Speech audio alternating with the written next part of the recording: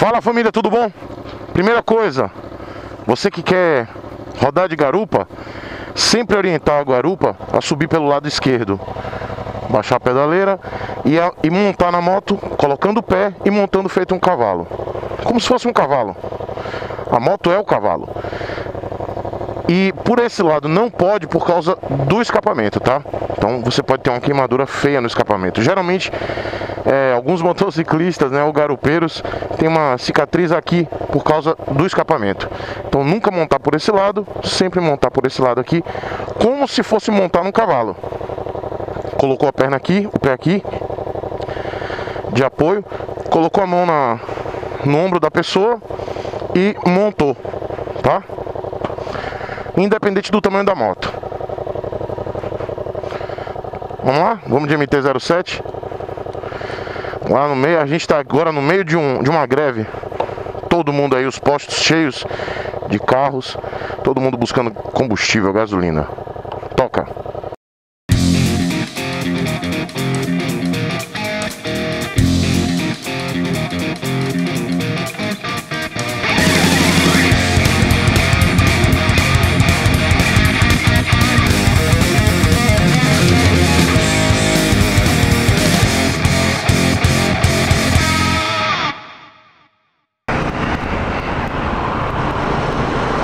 Então, pessoal, para você que está começando no motociclismo é, e não sabe como proceder com uma garupa, eu estou respondendo na realidade uma pergunta de um inscrito.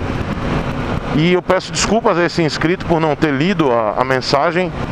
Se eu conseguir localizá-lo, eu vou colocar o nome dele aqui agora. Fica aqui meu agradecimento a você pela pergunta. E esse vídeo ele vai servir para, na realidade, para todos os motociclistas, mas é mais focado nos novatos, né? Os novatos que querem levar a garupa. Eu vou dizer o seguinte: você que é recém-habilitado e você que não não está acostumado né, a rodar de moto, são os primeiros meses em cima de uma moto, os primeiros contatos. Eu não recomendo que leve garupa, tá? Não é o momento ainda de se levar garupa você vai correr um risco muito grande de, de sofrer um acidente. Eu só recomendo que você leve garupa depois de, de uns 90 dias. Depois que você estiver rodando 90 dias, né? Rodando no trânsito que eu digo. Não adianta você ficar rodando é, um local que não tenha fluxo de veículos, porque você não vai ter a mesma experiência, não vai, não vai ganhar a mesma experiência de uma pessoa que vai estar no trânsito, é, é, passando por diversas situações. E com garupa é complicado, tá? Então você tem que primeiro ter a habilidade sem garupa, né? Adquirir essa habilidade, essa experiência. 90 dias já é o suficiente para você conhecer a moto, para você saber os limites da sua moto, a ciclística, o peso, você saber que até, até tanto dá para fazer uma curva, até essa velocidade eu posso fazer uma curva, eu tenho equilíbrio na moto, até essa situação. Olha a fila dos postos, ó. Isso aí é fila de posto de combustível, ó. Logo ali tem um posto BR e uma fila gigantesca. Hoje Salvador acordou assim. Eu tive show ontem com a remota, como eu disse para vocês no vídeo num vídeo aí, eu não, eu não vou saber agora dizer qual foi o dia, mas foi, foi o vídeo do, da greve dos caminhoneiros, né? E do aumento dos combustíveis.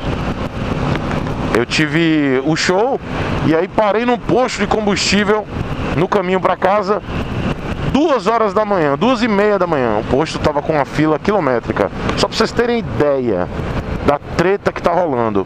Eu desisti. E aí achei álcool, né, etanol, num posto lá perto de casa. Aí achei melhor abastecer logo de etanol para pelo menos tá com o carro aí final de semana. Mas eu tô aí, faça chuva, faça sol, tô de MT-07. Como vocês estão vendo aqui, o painel ainda está com problema. Eu vou deixar a moto amanhã, hoje é sexta-feira. Vou deixar amanhã sábado lá na RL Motos. O pessoal vai dar um jeito aí, vai resolver esse problema. Que provavelmente alguma afiação aí, algum fio solto. na, no chicote. Algum problema na fiação aí. Enfim, você já tendo a experiência aí de 90 dias ou já conhecendo melhor sua moto, você tem que orientar o garupa a sempre subir. Oh, é MT-07 ali também, o seu som característico.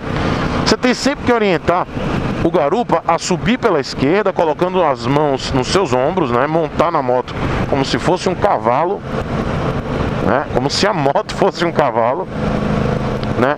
E orientar aqui o garupa, ele não faça o contrapeso. Por exemplo, se você vai fazer uma curva para a esquerda, que ele não jogue o peso para a direita. Tá errado. Ele não pode fazer isso. Se ele fizer, ele vai te desequilibrar. O garupa, ele tem que fazer Ê, sonzão. Ei, lá, ali tá, o escape tá aberto. Então, o garupa, ele tem que você e o garupa tem que ser uma uma coisa só. O garupa ele tem que te acompanhar. Então se você vai para a esquerda, o garupa vai junto, mas ele vai de forma suave, não é para ele mergulhar junto com você. Muitos garupas, eles acabam confundindo, né? Quando você fala, olha, você tem que vir comigo. Aí você mergulha para a esquerda, ele se joga todo. Não é assim. O garupa, ele tem que ter um, um, uma movimentação suave, como o piloto. Então a melhor coisa é, que o garupa ele pode fazer é perceber o movimento do corpo do, do, do piloto, tá? Se for uma, a sua esposa, namorada, esposo ou namorado, poxa, encosta mais um pouquinho o corpo, tá? No piloto para você poder sentir o movi a movimentação do corpo do piloto, tá? Se você é, tá no mototáxi, né, e não, não pode ter esse tipo de contato, né, ou se é algum amigo ou amiga que não quer ter nenhum tipo de contato físico, o ideal é que sinta a movimentação da moto e do piloto, né? prestando atenção muito nessa movimentação, porque com o tempo que você tiver é, garupando, você vai perceber isso, tá? Você vai sentir isso automaticamente. Isso é uma movimentação muito natural no futuro. Mas o que eu devo dizer a vocês garupeiros e a vocês pilotos que têm que orientar os garupeiros antes de subir a moto é que ele tem que seguir o movimento do seu corpo tá? Todo garupeiro tem que sentir o movimento da moto e seguir o movimento da moto, não fazer o contrapeso, em hipótese alguma, porque isso pode causar uma situação de acidente, né? Como eu disse, se a moto vai para o lado esquerdo e o garupeiro, o garupa, ele vai para o lado direito e faz o contrapeso, o piloto ele pode perder completamente o equilíbrio. Isso pode ser um problema sério, tá? Quem, quem roda de moto e já pegou garupa é, que não tem essa experiência de garupa, percebe bem que o próprio garupa fica com medo, né? Dá aquela sensação de medo que vai cair e aí ele vira para o lado oposto. Não pode, tá? Então, primeira coisa que você, piloto, tem que fazer é orientar, dar as orientações básicas antes mesmo do garupa subir a moto, tá? Ou se tiver subiu na moto, com a moto parada você orienta, nada de orientar com a moto em movimento, tá? Porque você não vai conseguir nem orientar direito. Então a moto parada, o garupa e, e, é sempre bom orientar nesse momento de subir a moto. Nunca o garupa deve subir pelo lado direito, sob o risco de queimar a perna na, no escapamento. Na hora de desmontar, né? Na hora de descer da moto, mesma coisa. Desmonta pela esquerda. Desmontando também como se estivesse é, descendo de um cavalo. Né? Quem nunca desceu de um cavalo, quem nunca desmontou de um cavalo, tem que é, né? estende a perna direita, né? transpassa a moto por trás e desce. Tá certo? Mas sempre descendo pelo lado esquerdo, nunca descendo da moto pelo lado direito, porque você também, na hora de desembarcar, você pode sofrer um acidente e uma queimadura feia no escapamento da moto. Tá? Porque geralmente as motos têm o escapamento no lado direito. Existem motos que têm escapamento duplo. Nessas motos, o cuidado é redobrado, tá? E aí o piloto ele tem que orientar se for uma moto custom com escapamento duplo ou uma moto esportiva. Geralmente motos esportivas com escapamento duplo, o escapamento fica bem abaixo do, do assento, então não tem problema. Mas motos custom com escapamento duplo, o piloto, por favor, oriente, né? Dê uma orientação ao garupa, tá? Orientando da melhor forma possível. Ó, tá vendo a ciclofaixa? O rapaz ele tá dando suporte ali à moça. Ela tá indo devagarzinho e ele dando suporte, né? Protegendo a moça na bicicleta. Eu, eu particularmente, eu, eu não confio muito nessas ciclofaixas, porque o motorista, ele infelizmente, ele não tem educação, né? Ele não respeita o motociclista, então não o, ciclista no caso, né? Se não respeita o motociclista, imagina o ciclista. O que mais eu posso dizer para vocês, garupeiros?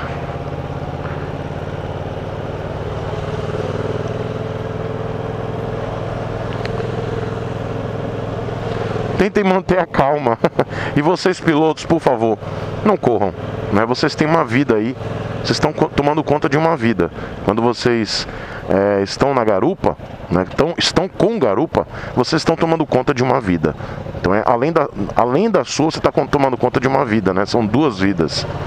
Então, muita atenção, rodar devagar, rodar com consciência e fazendo todas essas orientações ao garupa, tá certo?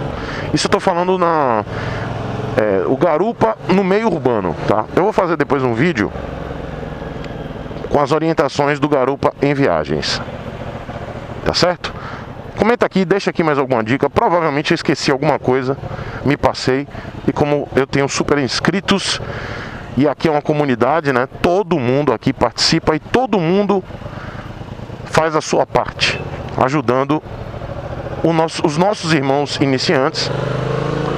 E eu sou somente um pedacinho desse grupo, dessa comunidade. Então eu preciso da ajuda de vocês. Coloca aqui os comentários, deixem aqui as orientações, porque muitos inscritos novatos estão aqui no grupo, aqui no canal, na comunidade. Eu fico muito feliz. Sejam todos bem-vindos. Esse canal aqui é um canal de uma comunidade, né? De motociclistas, experientes ou não, e todo mundo trocando informação. Certo? Deixem aqui o comentário de vocês com mais dicas para os garupas e pilotos. Um beijo para vocês. Eu espero que essa greve acabe com a redução dos combustíveis. E todos nós somos caminhoneiros.